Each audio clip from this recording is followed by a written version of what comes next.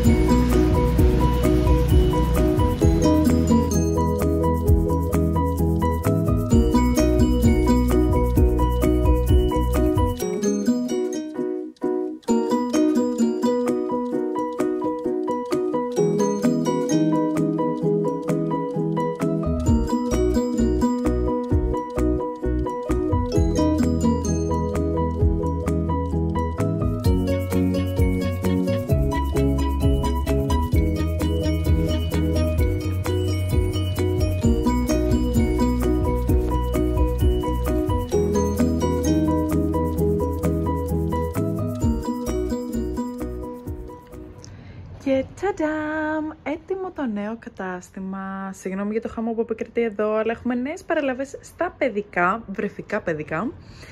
Και ναι, σας περιμένω πλέον στο νέο μου ανανεωμένο, σούπερ ανανεωμένο κατάστημα. Θα βρείτε τα πάντα, αντρικά, γυναικεία, ε, παιδικά, βρεφικά, ό,τι, ό,τι, ό,τι πραγματικά θέλετε. Και εννοείται όλα θα τα δείτε και στο e-shop και θέλω να σας δείξω και το καθρέφτη. Εδώ είναι και οι νέες τσαντούλες. Και εδώ οι καλτσούλες. Έχουμε κάνει ένα ειδικό section για τις κάλτσες που τόσο τόσο πολύ λατρεύετε. Και αυτό είναι το καλύτερο σημείο πραγματικά. Επίσης να σας πω πως σήμερα φορώ το set, το creme de la creme set. Ε, μπορείτε να το πάρετε και ξεχωριστά. Και ναι, δεν είναι φανταστικός αυτός εδώ ο καθρέφτης. Δεν ξέρω, μου αρέσει πάρα πάρα πολύ και νομίζω ότι βγάζει και πάρα πολύ ωραίες φωτογραφίες. Σας περιμένω να βγάλουμε και μαζί.